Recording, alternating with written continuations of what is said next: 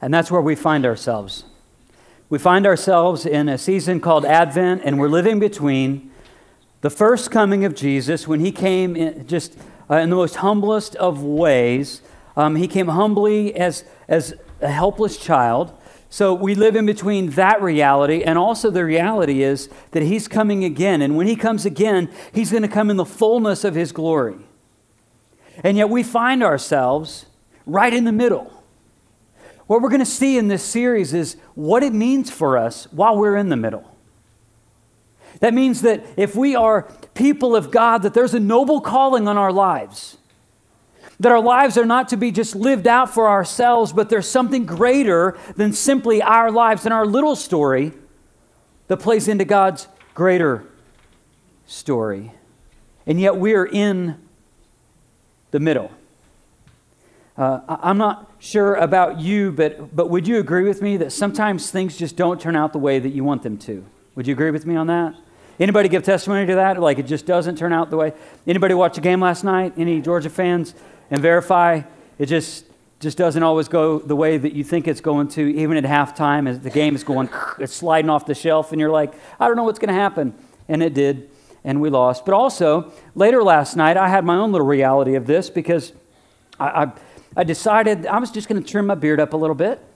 Um, and as I'm trimming my beard up, and it was great, it was like growing like the Amazon rainforest. So uh, I had my trimmers, and everything was going great. I trimmed it down really well, and uh, my my uh, my beard trimmer was all full of hair. So I got my little brush out, and I was cleaning it up. Just, I cleaned, and then I cleaned up the guard. I put the guard down, and then I just had the, just the bare trimmer in my hand, and I went, and then I was like, hmm, okay. Um, uh, but then, in, in, all honesty, then I thought, well, that's probably not that bad. I mean, it was, it was just far enough out of reach where I couldn't see it. But then I thought it was going to be, I thought it was okay. So I was like, I took a shower and all that. I got out of the shower and I went to Marla and I said, hey, um, so I had a little accident with the razor, uh, with, the, with the trimmer. And uh, just tell me, do you see like a stripe? And she's like, uh huh. Um, so, uh, so then I had to go back in there, and, uh, and now welcome to a 20, you know, a 20 year old pastor, I guess. I don't know. Um, and what was really funny, and I thought about this this morning, even before I preached the first, in the, in the, preached the first service, is like, there's like the before and after, the video, and then, wow, look at this. This is, this is the new me, which is actually the old me. Anyway, sometimes life just doesn't go the way that you expect it, and yet you just got to move on, right? You just got to move on and you have to figure it out. And that's what we're going to do. We're just going to figure it out. I want to figure you out a little bit. So I want to ask you this question just to kind of tease out where we're going today. Um, I want to ask you a question, and I need 100% participation. If I don't get that, it's going to be sad, and we might shame you publicly. Okay, well, I'm not going to do that. But still, I want you to, I, I, I really do. I want, I'm counting on you to do this. And it's really a simple question. It's, it's sort of personal, but not all that personal. So I think you'll, you'll be okay. Um, who would say that they're a person, before they go to bed at night, they have to flip the pillow over to get to the cold side of the pillow? Raise your hand if that's you. You flip your pillow over. All right, now, look at that. Everybody with their hands up? Those are the sane people. That's who that is right there. Those are the sane people. Of course you have to. But don't you get in trouble if you flip your pillow over to the cold side and yet you don't fall asleep? Then what do you do? You flip it back over, but then it's not cold anymore. It's, it's, it's still warm from the last time, and then you're caught in this big helpless cycle, and I don't even know what you do in that situation. I just, I just pray and wait for Jesus to come. I don't know, I don't know what you guys do, but I just lay there under the fan and attempt to go to sleep. And yet, even in that, I was also outside of this morning, um, because this morning, like with all the storms, but isn't this just like the perfect time of weather to sleep? Like wintertime? I mean, who, who would give testimony to that? It's like this is just great. Now there's more hands on that. Just great sleeping weather.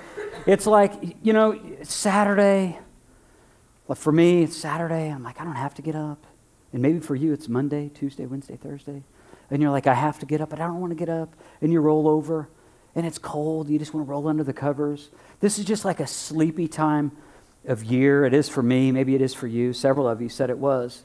But if I'm honest, this is also a sleepy time in the history of our country. This is also a sleepy time. Then I'm not just talking about politics, I'm talking about the sleepy time of the people of God in our country. This is just a sleepy time in American Christianity. It's just people have just kind of lost their focus. If I'm honest, this is the way I, I, feel about it, and maybe I'm wrong to some degree, and maybe it's not explaining your life, but I believe if you take, take a look back and, and don't become so sensitive of me saying that, I think maybe you would start to see some of this too. Like much of American Christianity is just kind of comfortably asleep. We're just kind of numb to what's going on. We like what we like, we don't like what we don't like, and we're okay with that. And we pick and choose what we're going to do spiritually. And in the midst of that, we're spiritually asleep and we're not engaging in the way that God wants us to. I believe that we're not engaging in the noble calling that God has placed on every follower of Jesus. And I just want you to know we have so much to lose if we don't do what it is that God's calling us to. I am thankful that in the Bible there are other references of what I think it's even more drastic than what we see in our country now. Um, but I look at the prophet Isaiah, and his ministry existed approximately 700 years before the birth of Jesus. And it was a sleepy time for the, the people of Israel. They had had a lot of great things happen. They, David had already come, and he had, he'd been the king, and now they were, they were waiting for another David to come. They were, another, they were waiting for, this, for the city of God to come. And, and Isaiah's ministry and message would, would just be echoing that over and over and over, and the people were spiritually asleep. They were spiritually asleep, and they were even reaping the consequences of their own disobedience to God. And God had brought them in this. Isaiah is a long book, but before our reading, I want us to know what's happening. God had brought about some consequences because the people were disobedient. And now Isaiah is spiritually awake, although the other, the people who he would be prophesying to were spiritually asleep. And we see just the, the depth and heart of his words. I'm going to read a passage. This passage, I just want it to wash over you. I'm not going to, to go through and explain it. You can look it up later. But I, I just want you to sense and feel his frustration with what's going on, but also the faith because if we're going to be spiritually awake, we also have to be real about the way that we feel, but also be spiritually awake and alert to chase that noble calling that God has for us while we live in between. This is what it says in Isaiah. Let this word wash over you. Isaiah 63 16. But you are our Father. Though Abraham does not know us or Israel acknowledge us, you, O Lord, are our Father. Our Redeemer from of old is your name. Why, O Lord, do you make us wander from your ways and harden our hearts so that we do not revere you? Return for the sake of your servants, the tribes that are, that are your inheritance. For a little while, for a little while, your people possessed your holy place, but now our enemies have trampled down your sanctuary. We are yours from of old, but you have not ruled over them, and they have not been called by your name verse 1, chapter 64. Oh, that you would rend down the heavens and come down, that the mountains would tremble before you. As when fire sets twigs ablaze and causes water to boil, come down to make your name great, to make your name known to your enemies, and cause the nations to quake before you. For when you did awesome things, that we did not expect. You came down, and the mountains trembled before you. Since ancient times, no one has heard, no ear has perceived, no eye has seen any God besides you who acts on behalf of those who wait for him. You come to the help of those who gladly do right. You remember your ways. But when we continue to sin against them, you were angry. How then can we be saved? All of us have become like one who's unclean, and all of our righteous acts are like filthy rags. We all shrivel up like a leaf, and like the wind, our sins sweep us away. No one calls on your name or strives to lay hold of you, for you have hidden your face from us and make us waste away because of your sins. The last verse, verse 8. You, O Lord, you are our Father. We are the clay. You are the potter. We are all the work of your hand. He himself is desperate for God.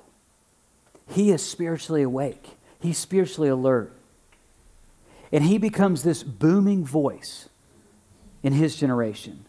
A booming voice that, that his words, his prophetic words, would be echoed many times in the New Testament. His words would reverberate through the Gospels. His words were commonly used by Jesus. His words, then 700 years approximately before the birth of Jesus, his words would be just grasping and hoping for God to return. And yet we find ourselves now in the life between, waiting for his second return.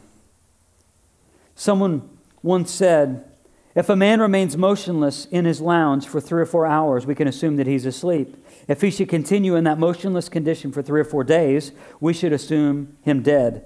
If a Christian does nothing for Christ, lying motionless a, on a pew or seat, you can assume he is asleep. If he stays in this course of uselessness, it is a fair presumption that he is dead. The question I, I want us to grapple with uh, not just in this message, but all of Advent season, which starts today, is this. And this is for you Christians. If you're not a Christian, I already know the answer to this for you. But if you're a Christian, the question is this Christian, are you asleep or are you awake? Are you asleep spiritually or are you awake? I mean, I get it. I know why that in our culture, that we can be spiritually asleep. There's so many things to distract us from being spiritually alert and awake and alive and doing the things that we're supposed to. I mean, with all of the political debates, uh, debates, I mean, it's just a snoozer, is it not?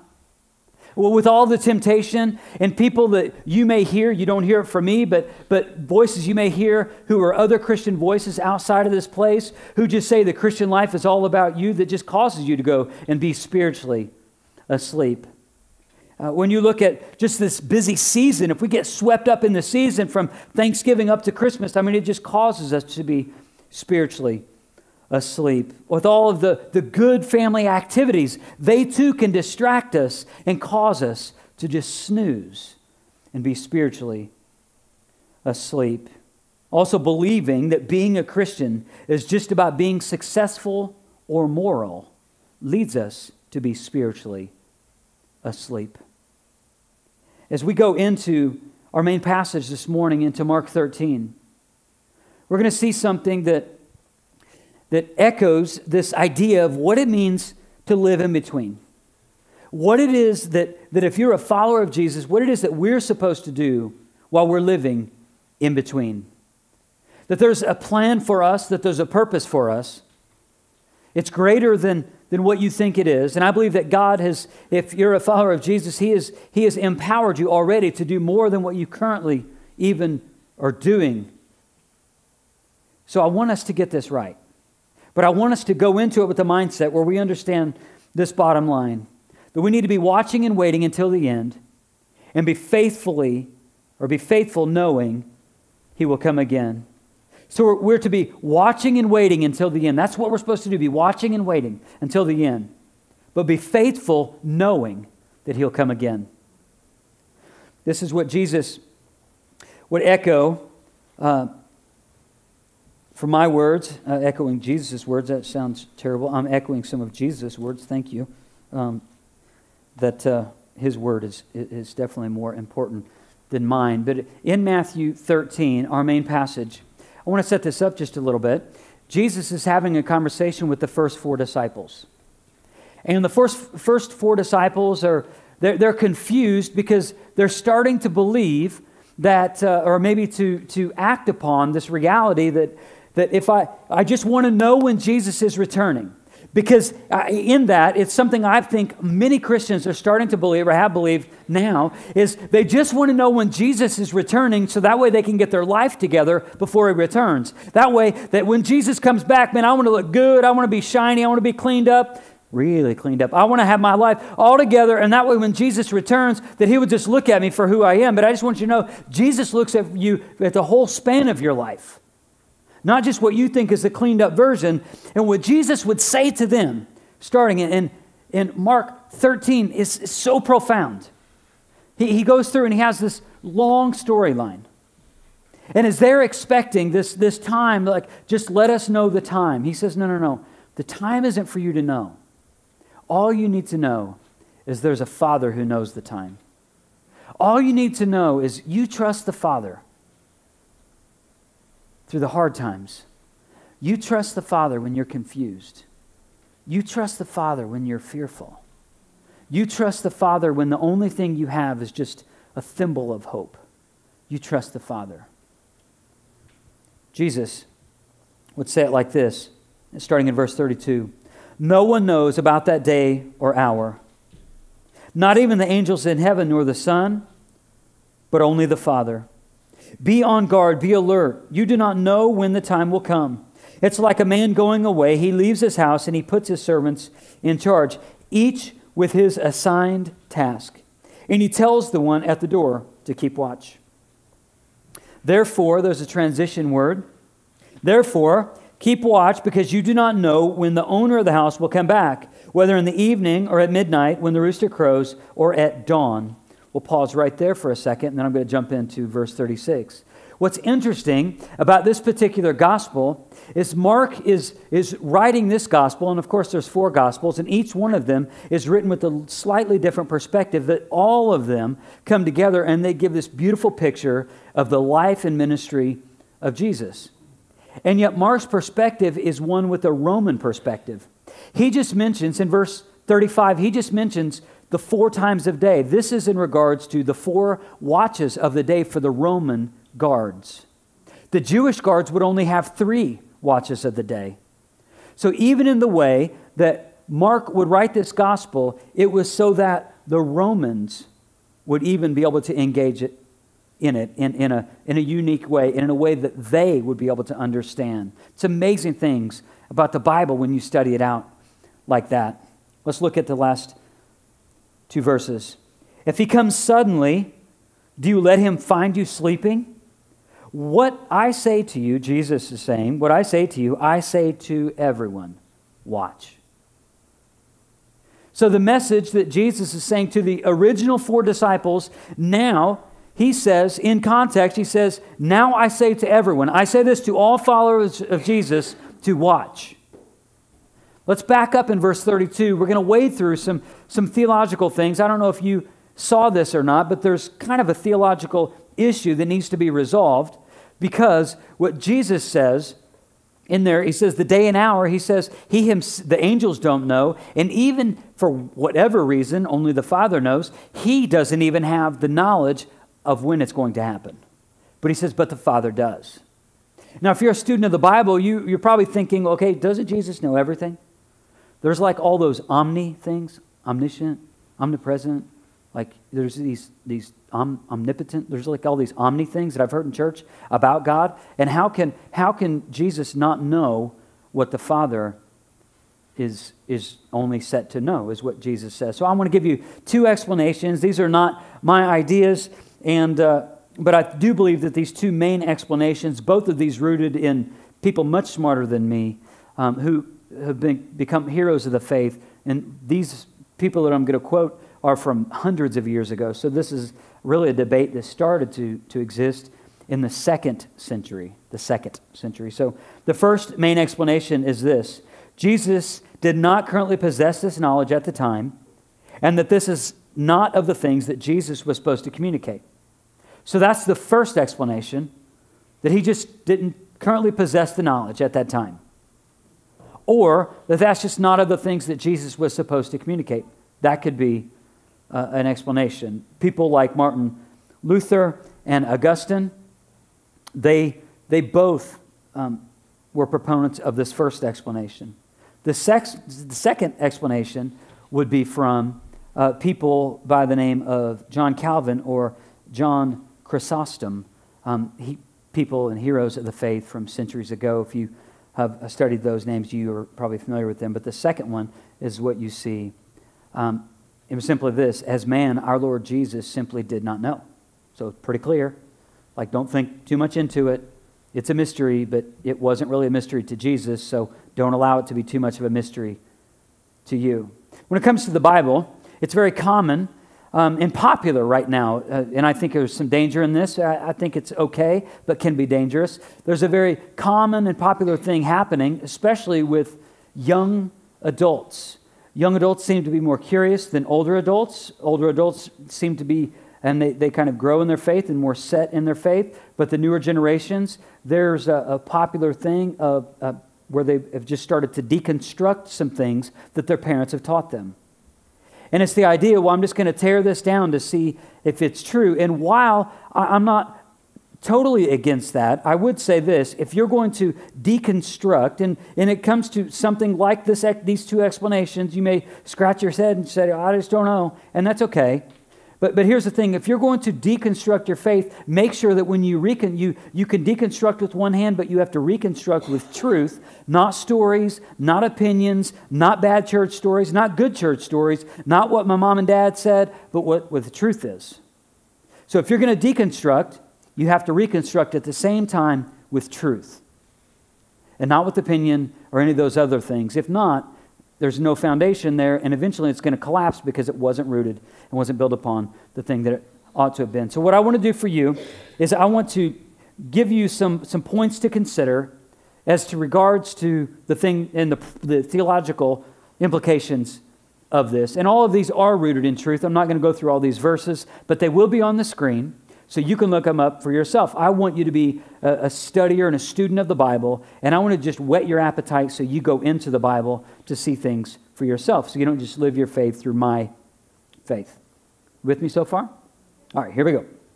So, uh, the first uh, point of reference is this, and there's seven all total. First one is this Jesus, while being God, had a limited knowledge of things on earth. We know this. If you go to Luke 2:52, you see this that he had a limited knowledge of things on earth. Point number one. Point number two Jesus is completely convinced that he is the beloved Son. As a matter of fact, in the, the main passage that we just went through in Mark 13, was the only, I believe it's the only time in the Gospel of Mark that Jesus refers to himself as the Son. So Jesus is completely convinced that he is the beloved Son. No real mystery to Jesus. Third thing, Jesus is completely one with the Father. If you go to John 10 30, it'll verify that truth. Jesus is fully God and he's fully man. This can be confirmed in John 1 1 through 3, and then verse 14. Jesus is fully God and fully man. No mystery there. The Word of God says it, so therefore I do believe it.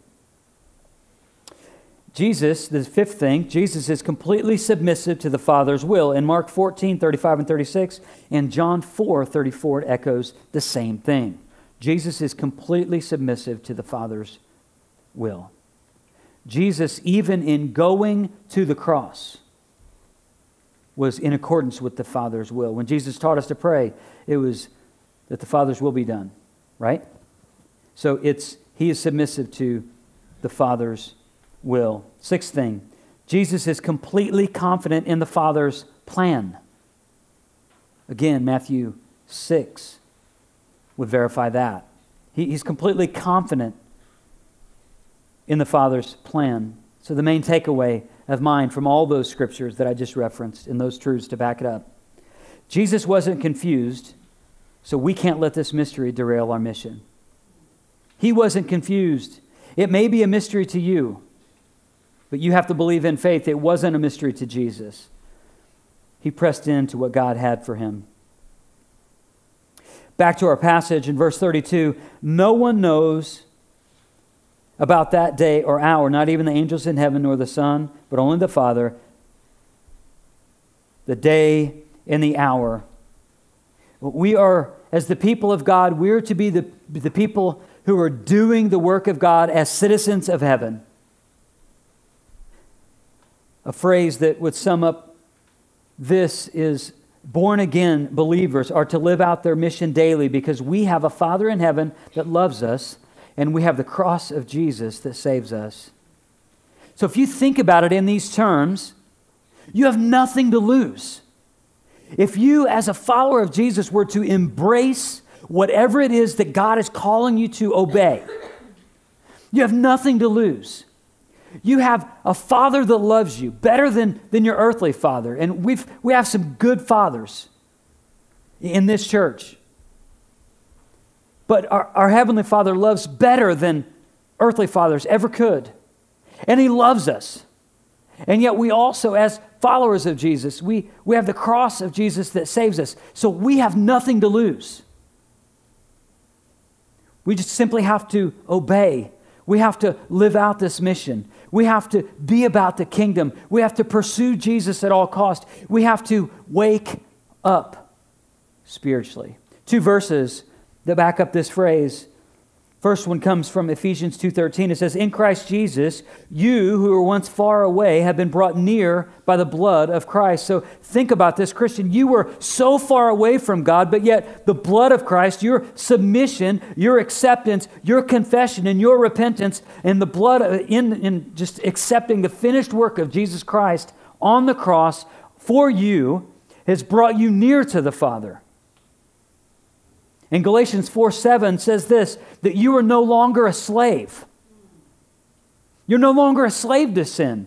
Prior to giving your life to Jesus, you were a slave to sin. You were, you were enslaved, and many of us didn't even know it. But you're no longer a, a slave to sin, but you're God's child. You're God's child. And since you are his child, God has made you also an heir. So we are co heirs with Christ. We have an ability to live in the Spirit, to be connected with God, that the Holy Spirit dwells within every believer. And we can live in the reality of that, live in the strength that that gives, living in the presence of God. And this is part of our inheritance now but also as, as Christians, as we're living in between and we're waiting for the fullness of glory to be revealed in Jesus' second coming, we also know that not only do we have this inheritance now, but we even have even a greater inheritance waiting for us when Jesus returns or when we go home. These are powerful truths to think that, that God would allow us to be within family and that God would invite us to do his work. And that's what it says in verse 33. Be on guard, be alert.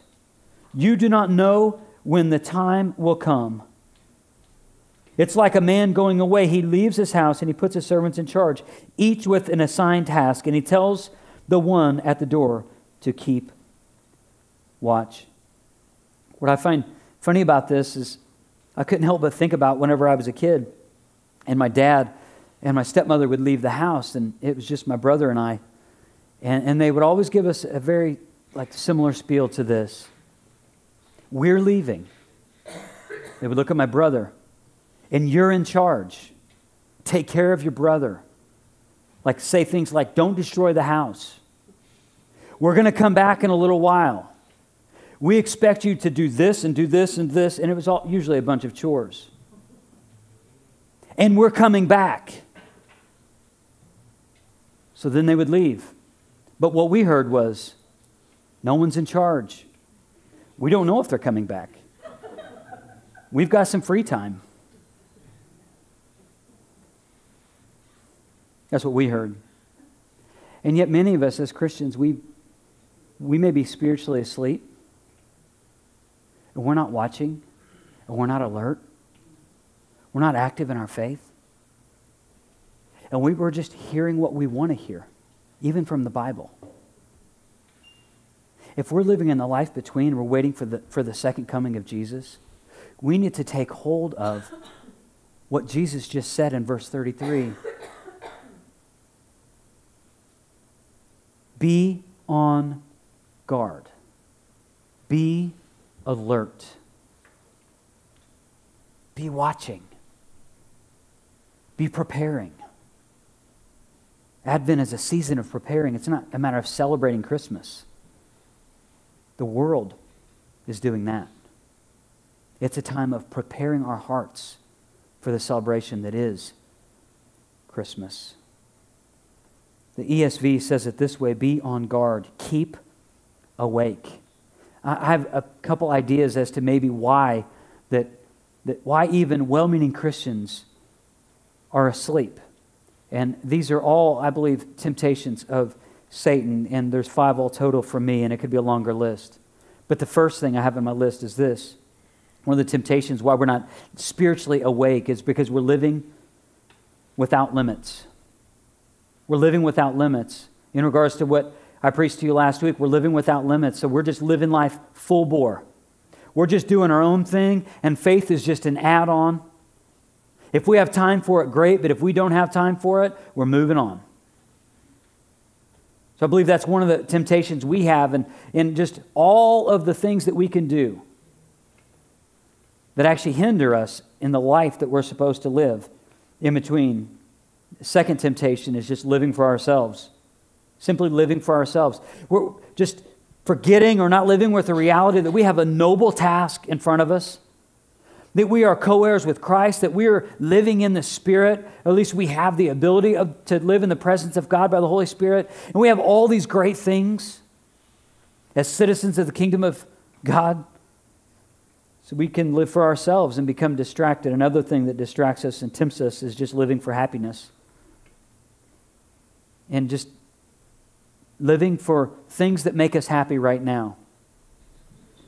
This, this message right now is as common with a sixth grader as it is with a senior adult.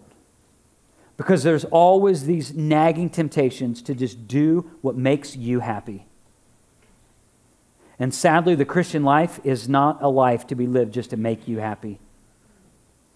It's to make, it's to make you joyful, which is, it so transcends happiness. Happiness is fleeting.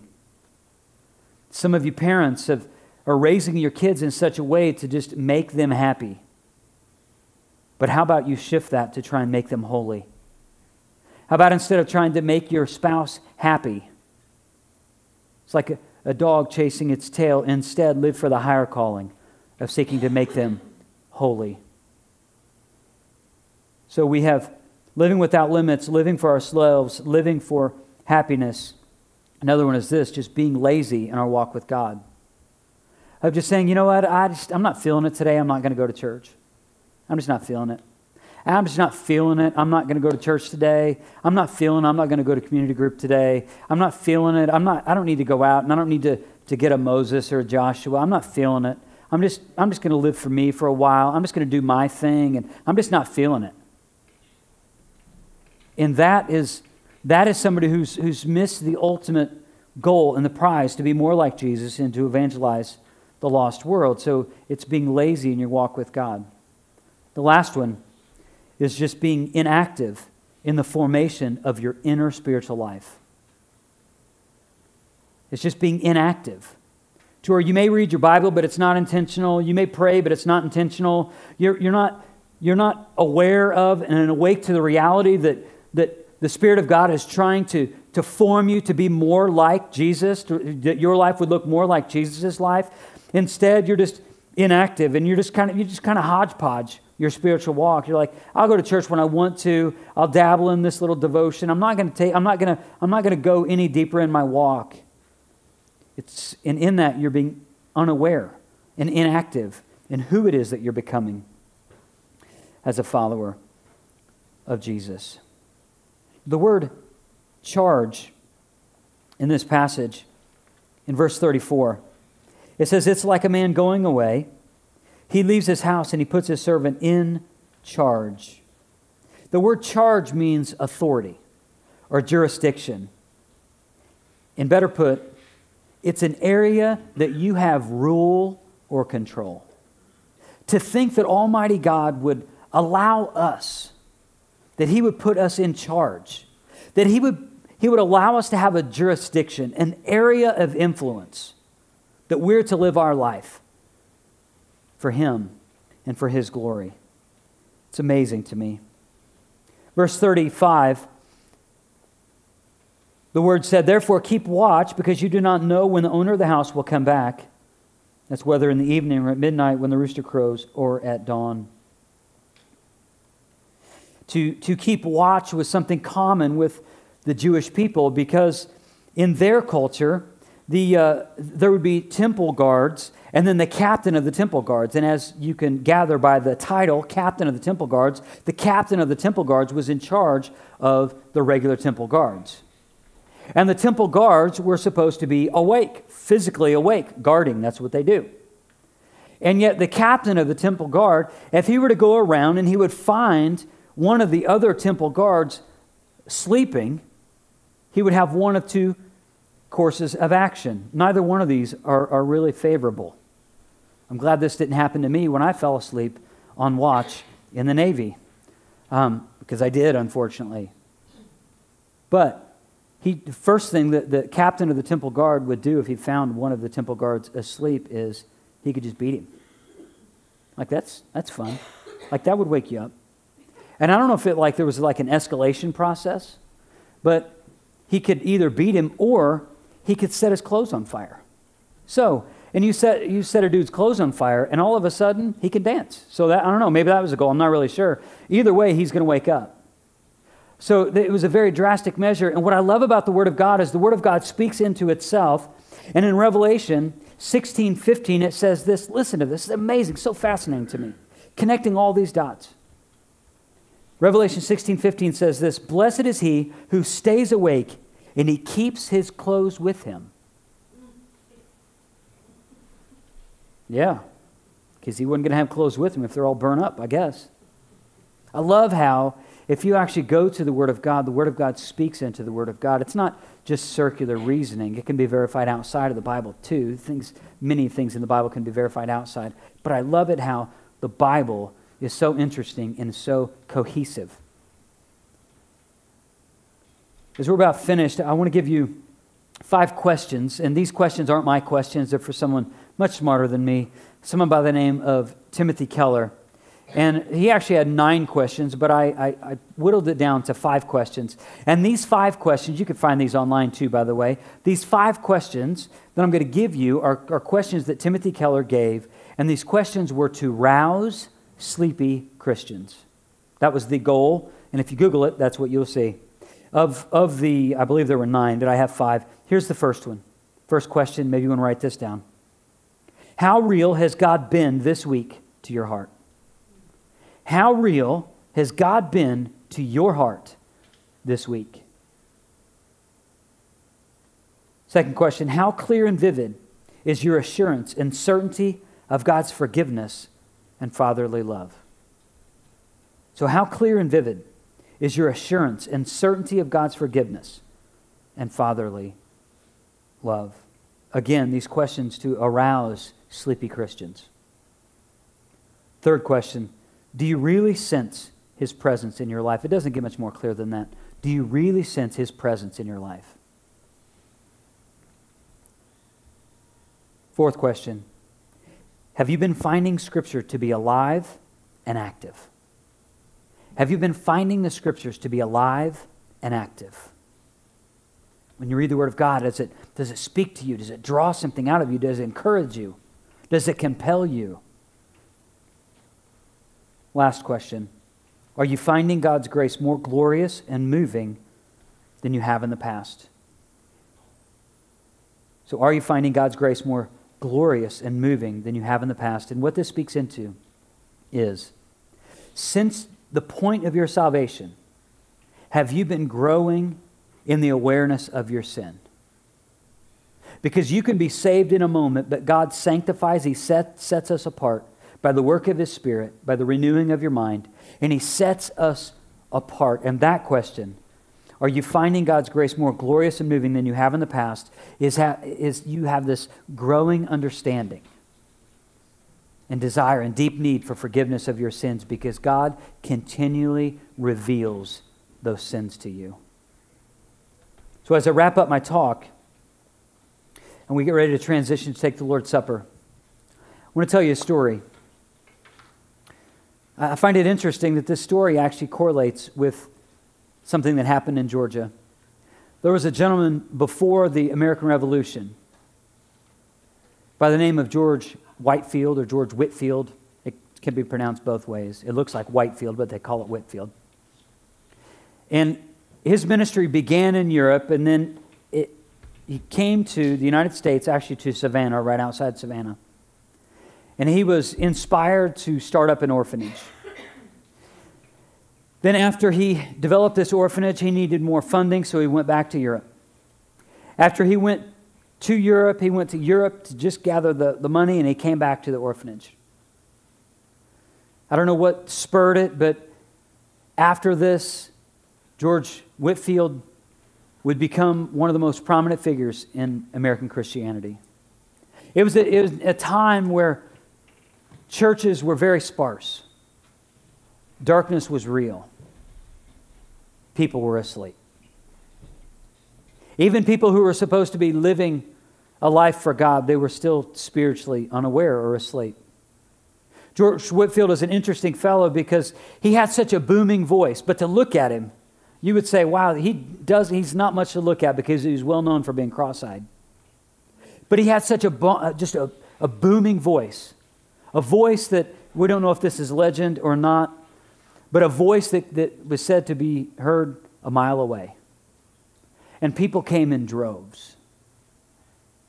And through his ministry and the ministry of others, there was this great event that happened in America called the First Great Awakening. And his ministry was unique because he said things that had not been said. He was doing things in ministry of which he got a lot of opposition. He was doing things in ministry that other people weren't doing. But God used him to wake up a nation, a nation that existed at the time. And I believe still today that God could use one person, and perhaps a person sitting in this room. I believe that God can work through one person to to make another great awakening in our country. And it wasn't just George Whitfield, that there was other people who just the wave of the Spirit. But it can begin with one. Would you be the one? Would you be the one who would decide today, I am going to be awake spiritually? I'm not going to allow my, my wife to be awake, and I'm not going to count that as my faith. And I'm not going to allow my, my husband to just have a faith, and I'm going to kind of live off of that. I'm not going to have my kids, and particularly the one kid who has it all together, I'm not going to look at that kid. I'm not going to live my faith out of, out of my kid. But I wonder if you would just say, you know what? I want to be spiritually awake. Because perhaps there could be another great awakening Maybe it won't be as big as the first. Maybe it'll be bigger than the first. Maybe it just reaches those in your home. But if that was the case, wouldn't it still be worth it? I want to give you two takeaways from this passage. And, and again, I believe these two takeaways will make maybe some things that are unclear crystal clear. So, the takeaways before we go into Lord's Supper are these. Connectivity to God will help you to be watchful for the purposes of God. Connectivity to God will help you to be watchful for the purposes of God. So, in this season called Advent and the life that we're to be living out in between, maybe embrace this season to where you dig into your faith and to be connected with God. The two primary means that you're going to be connected with God is through prayer and the Word of God. Those are the two primary ways. There are other ways, but those are the two primary ways. The connectivity with God will help you to be watchful for the purposes of God, for you to be spiritually awake to the things that God would have you do in your home, in your own, in your own spiritual life, and in your workplace or at your school. Second takeaway is this activity with God and for God will wake you up to the things of God. So, some of you, you're connected with God through Bible study and prayer. And I'm going to encourage that. I would say praise God for you and praise God for that. But also, in that, maybe some of you, you're just not doing any activity for God. You're not serving. You're just doing your own thing. And you explain it away. I just don't have time. I'm busy. It's a work cycle. I'm, I'm, the boss. So I'm the boss. I'm always thinking about work, and I just don't have time. And I just want you to know that's just such an opportunity for you to be spiritually asleep. And maybe that's the reason why you are spiritually asleep. But the way you could wake up is connectivity to God and then activity with God and for God. And that will wake you up to the things of God. I want us to, to pause for a minute. And I want to give some space for the, the Spirit of God to work. And, and I want us to have just a couple of seconds of silence. And I really want you to ask the Spirit of God, am I awake or am I asleep? And if I'm awake, am I alert? Because there's a difference there. So I want you to ask the Spirit that, Christian. And, and then I'm going to close this in another prayer before we take the elements. Let's pray together.